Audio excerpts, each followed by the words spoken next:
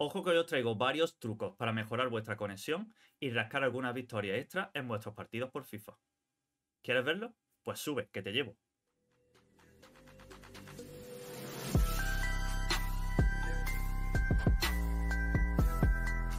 Hola tripulantes, bienvenidos a un nuevo vídeo. Como punto número uno, lo más importante es que tengáis vuestro dispositivo conectado a través de cable y además que este cable sea de categoría 7 u 8. De esta forma, exprimiremos al máximo la velocidad que tengamos con nuestro proveedor de internet a través del router. Como punto número 2 es que vuestra conexión a través de vuestro proveedor de internet sea a través de fibra óptica y no ADSL común. Si no os queda más remedio, eh, podéis seguir en los siguientes puntos que seguramente algunos de, de los trucos que os mostraré os servirá. Otro punto muy importante para mejorar la velocidad de los partidos es abrir los puertos de vuestros routers. Bueno, estos son los puertos que necesitáis abrir en vuestros routers. Aunque hoy os marque PlayStation 4, sirven tanto para PlayStation 4 como para PlayStation 5. Si necesitáis una explicación más concreta como, o no sabéis cómo, o cómo abrir los puertos en vuestros routers y tal, dejádmelo en los comentarios y os haré una guía específica de cómo abrir los puertos de vuestros routers. ¿Vale? El siguiente truco lo voy a enseñar eh, específicamente en PlayStation 5, pero se podría servir para cualquier plataforma. Simplemente hacer unos cambios en la red de vuestro dispositivo. Nos vamos directamente a ajustes red, le damos a ajustes, configuración de conexión a internet, nos vamos aquí donde pone redes encontradas le damos a configurar red LAN cableada. Seleccionamos el nombre de la red con el que la vamos a identificar, porque estos puertos sirven para FIFA, pero lo mismo para otros juegos. Lo ideal sería dejarlo todo en automático o volver a una conexión específica que tengáis para esos juegos. ¿Vale? Estos son eh, una conexión específica de FIFA. Una vez que hemos seleccionado el nombre, le damos a ajuste avanzado. Eh, en ajuste de dirección IP lo voy a dejar ahora mismo en automático, pero cuando configuréis los puertos de vuestro router y los tengáis abiertos, es importante que este ajuste lo tengáis en manual.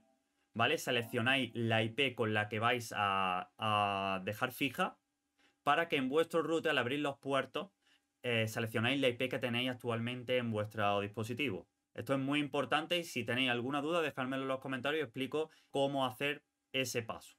¿Vale? Actualmente la vamos a dejar en automática, como si no hubiéramos configurado los puertos ni nada. En ajustes DNS lo ponemos en manual. DNS primario 1.1.1.1 y le damos a terminado. Y en ajuste secundario sería 1.0.0.1. ¿Vale? Estos son actualmente los dos DNS más rápidos del mundo que son de la empresa Cloudflare. En servidor proxy lo dejamos tal como está. ¿Vale? En ajuste MTU lo ponemos en manual. Este es un, ajuste que no os puedo decir específicamente qué número ponéis porque depende de vuestra conexión a internet y depende también de vuestro proveedor de telefonía. Eh, por defecto está en 1500. Lo ideal es bajar este parámetro. Vosotros tenéis que ir probando a ver a cuál se os ajusta mejor. A mí, por ejemplo, me va bien en 1395. Pero no quiere decir que a vosotros vaya mejor que, a mí con este parámetro. Lo ideal es que vayáis bajando 1480, 1450, 1400, 1350. Que veis que la conexión va mejorando, pues entonces vais subiendo, bajando esos parámetros a vuestro gusto. A mí, por ejemplo, me va bien en 1395. Una vez configurado todos los parámetros, simplemente le damos a aceptar y automáticamente ya se me conecta a, este, a esta red que hemos configurado.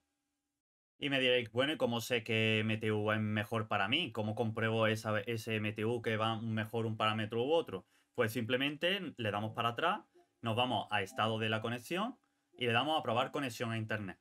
Es muy importante sobre todo que comprobáis la velocidad de conexión de carga.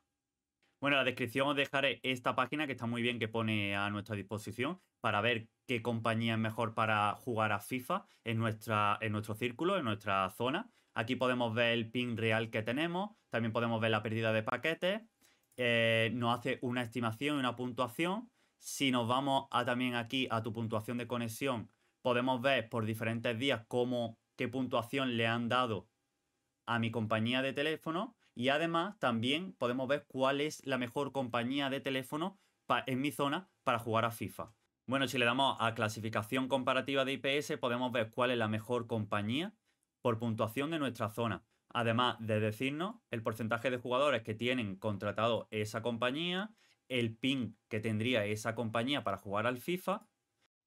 Como veis, mi compañía que es Telefónica España está bastante por debajo en puntuación con respecto a otras compañías en mi zona, que ofrecen mejor conexión para jugar a FIFA, además de ver el porcentaje de jugadores que tienen contratada esa compañía y el PIN real que tendrían para jugar a FIFA. Que en este caso, instalación y servicio Mowitel sería el que mejor PIN tiene para jugar a FIFA. Aunque la que mejor pues, conexión tiene sería la de, la de España Network. Yo lo que haría sería para jugar a FIFA, si quiero cambiar mi compañía, eh, haría una estimación entre la puntuación y el pin real que me da. Bueno, si nos vamos a historial de partido, podemos ver perfectamente todos los encuentros que hemos, los últimos encuentros que hemos hecho y nos da una estimación del pin que hemos tenido en ese encuentro, la pérdida de paquetes, también nos dice la modalidad de juego, si ha sido amistoso, si ha sido partido de Food Champion, incluso podemos ver si hemos terminado el partido o no. Con este ASPA, con una X, nos dice si no hemos, no hemos terminado el encuentro o lo hemos completado si el partido ha sido hasta el final. ¿Vale? Hay muchos no completados, pues son los partidos de amistosos de foot. ¿Vale? También podemos ver la, empresa nuestra, la plataforma en la que hemos jugado y si estamos conectados por cable o, o a través de Wi-Fi. ¿Vale? Aquí arriba, bueno, nos hace un promedio más o menos del pin que, que tenemos de media y el pin más bajo que hemos tenido por, partido. ¿Vale? También la pérdida de paquetes y podemos ver aquí el jitter también promedio. Todas estas páginas están muy bien para saber cuál es vuestra conexión real y dónde estáis perdiendo esa conexión, esa velocidad, esa calidad, para ver si realmente necesitáis mejorar vuestra conexión, cambiar de operadora de telefonía o simplemente mejorar algunos puntos concretos de, todos los truquitos que os estamos dando. Bueno, esto sería a nivel de configuración, ¿vale? A nivel de ajustes de, de router, de ajustes de, de vuestra videoconsola y tal. Ya sabéis que aún así muchas veces los servidores de FIFA van muy mal, sobre todo los fines de semana en Food Champions. De repente vuestros jugadores parecen muy lentos, parecen grúas, eh, los pases no van bien, los jugadores a veces parecen tontitos y se quedan un poco parados o no hacen bien los movimientos. ¿Vale? En esas circunstancias, lo mejor es coger jugadores muy aptos para esos partidos. Cuando veis que la conexión va muy mal en algunos partidos, utilizar jugadores cuyo body type sea delgado que se muevan muy bien, jugadores tipo Vinicius, tipo Maré, jugadores como Messi, jugadores como Fekir, eh, el nuevo Papu Gómez que han sacado la carta especial. Buscar ese tipo de perfiles que se mueven muy bien, se mueven muy rápido y van a estar por encima. Aunque tengan peores características que otros jugadores que van mejor, van a estar por encima porque eh, van a moverse mucho más fluidos que lo harían otros jugadores que a priori son mejores. Bueno, hasta aquí el vídeo de hoy. Espero que os haya gustado. Si queréis una explicación más concreta o específica de algún punto, dejármelo en los comentarios y se podrán hacer otros vídeos explicando precisamente ese apartado más concreto, más específico. Y nada más, espero que os haya gustado el vídeo, que os sirva y que ganéis algún partido extra gracias a estos truquitos. Nos vemos. Adiós.